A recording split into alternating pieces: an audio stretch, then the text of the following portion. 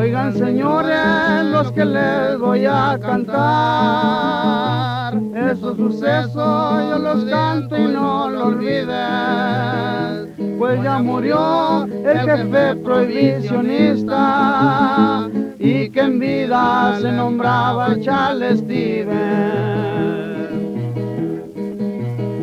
Este que tiene de águila los ojos que dio medida en donde quiera. Es el retrato mismo, los despojos del que en vida le nombraban la pantera.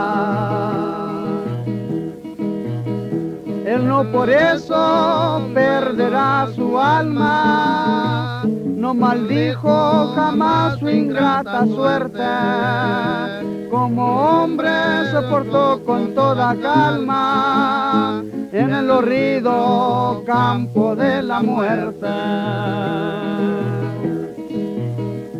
Más debido al valor que este tenía, Charles Stevens, el jefe que yo nombro, cuando buscaba la cerveza hacía que todo el mundo le tuviera asombro. Cayó herido y entonces con denuedo siguió Murphy con igual valor. Peleó intrépido y sin miedo, sostuvo aquella lucha con honor. Al lado siempre de su fiel amigo, él mismo lo llevó hasta el hospital. Se batió para hacer que otro enemigo moviera el auto en el camino real. Un mexicano luego sin más cosas meten en un lío porque oyó como muere de pronto en Santa Rosa, en silencio el secreto se encarnó.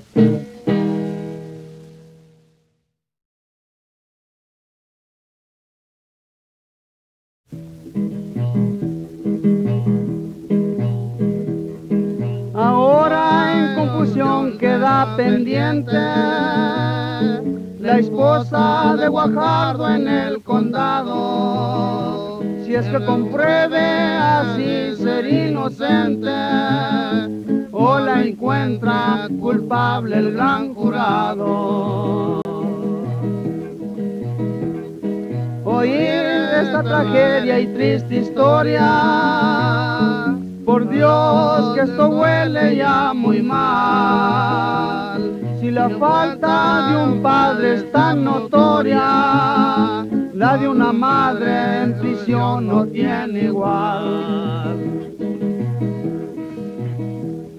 Lo de siempre sucedió, lector querido.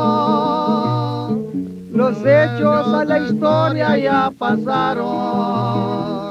Solo un pobre mexicano se ha perdido y los otros matadores se empelaron. La muerte del valiente Charles Steven ha venido a descubrir que en San Antonio no son los bulegas los que solo viven, son de otra parte los que crió el demonio y seguirá la ley haciendo esfuerzos para evitar las bebidas embriagantes. Y yo continuaré cantando versos aunque parezca mal a los pedantes. Aunque se quiebren todas las botellas por agentes de la ley que a todos pasos relucirán las ilusiones bellas a través de los vidrios y los vasos. No olvidéis, por lo tanto, estos alardes No hay a quien no le duela su pellejo. Lo mismo son valientes que cobardes. Y tal como el refrán lo dice un viejo.